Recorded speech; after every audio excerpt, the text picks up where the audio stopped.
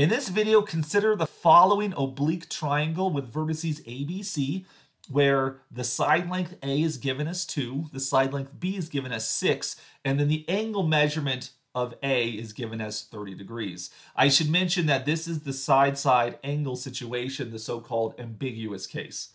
Uh, so we want to solve the remaining sides of this triangle. We notice because we have angle A and we have side length A that we have an AOS, an angle opposite side pair. Whenever you have an AOS, this indicates to us we probably want to use the law of sines to help us solve uh, for the remaining sides of this triangle. In particular, we're going to compare the AOS A with the AOS of B, which we have the side length B, but we don't have angle B. So using the law of sines, we're going to take sine of B over little b, and that's going to equal sine of A over little a. And we want to solve for angle B right here. Um, to do that, of course, you can times both sides by little b, so you get sine of b is equal to b over a times sine of a, and then plug in the information we have. b is 6, little a is 2, sine of 30 degrees. Now, sine of 30 degrees, that's of course 1 half.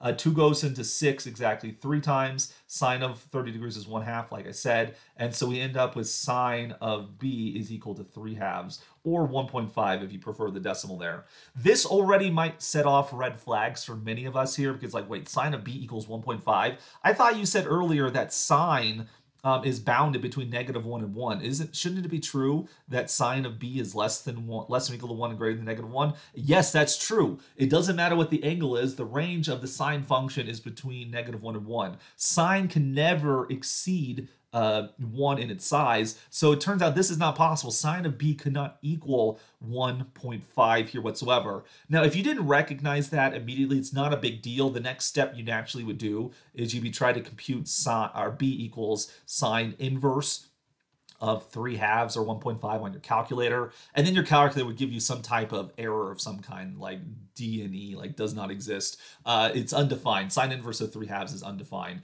And so when you try to compute the sine ratio and you get something that's too big or too small, or your calculator tells you sine inverse doesn't exist for that value, that's an indicator that there is, in fact, no solution to solving this triangle. There is no triangle that satisfies the conditions that A is 2, B is 6, and angle A is 30 degrees. So this gives us an example of the ambiguous case that has no solution given side-side angle.